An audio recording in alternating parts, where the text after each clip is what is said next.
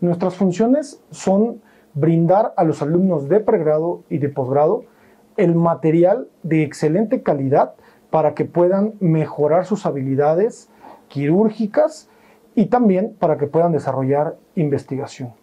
Eh, también es asegurar la disponibilidad de ese material, el desarrollo de atlas, el desarrollo de modelos en 3D, el desarrollo de plataformas virtuales que ayuden alumnos no solo de la licenciatura en médico cirujano, sino de neurociencias, de enfermería, de nutrición, eh, de fisioterapia, eh, de ciencias forenses, entre muchas otras.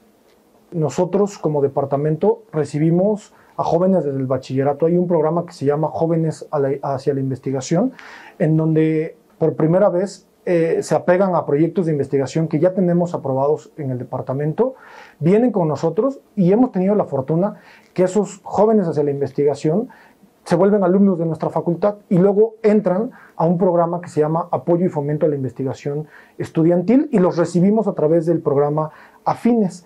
Una parte fundamental eh, que contribuimos fue a tener material didáctico suficiente, porque las prácticas ya no estaban disponibles. Entonces, creamos material, creamos una plataforma eh, que, nos, que, le hemos ido alimentando, la empezamos desde antes de la pandemia, pero durante la pandemia la, terminamos de alimentar y, esto le sirve a cualquier alumno que quiera estudiar medicina, a cualquier alumno de otro país, porque es una plataforma que está disponible, que es gratuita eh, y que tiene Atlas, tiene modelos en 3D, tiene recursos eh, digitales, o sea, la, gente se puede poner a prueba, puede poner a prueba sus conocimientos, tiene videos.